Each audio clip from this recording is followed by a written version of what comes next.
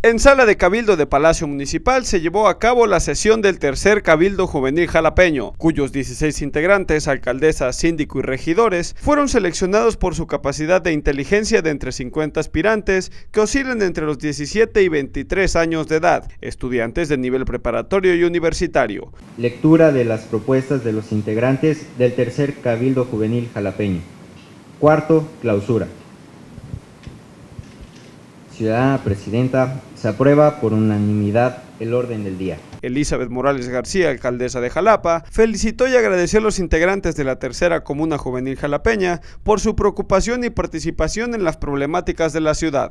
A nombre del Ayuntamiento de Jalapa y de mis compañeros ediles aquí presentes, les decimos gracias por su participación, por estar esta mañana aquí presentes y por saber que contaremos con su visión, con su experiencia, con su trabajo y con su análisis para poder fortalecer el trabajo que nosotros realizamos. Siempre con una visión, que es servir a los demás.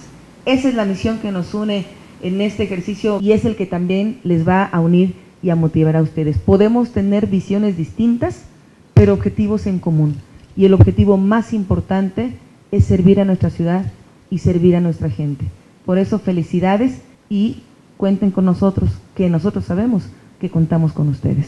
Después de sesionar formalmente, fue Diana Isabel Díaz Carreto, alcaldesa del tercer Cabildo Juvenil Jalapeño, quien dio por terminados los trabajos y en entrevista expresó su sentir acerca de su participación. Es muy grato estar aquí, formar parte de, de este equipo de jóvenes que estamos interesados por, por hacer algo, ¿no? No solamente vamos a ser voceros, de estas problemáticas, sino vamos a contribuir a, hacer ese trabajo y no solamente argumentar o criticar el trabajo de los demás, ¿no? En verdad es un, un, placer participar en esto y qué bien que un ayuntamiento se preocupe. Creo que estas participaciones, estas oportunidades son las que estamos buscando para crecer, no solamente en un ámbito social, sino como humanos, ¿no? Y realmente le agradezco mucho al Ayuntamiento de Jalapa por brindar estos espacios.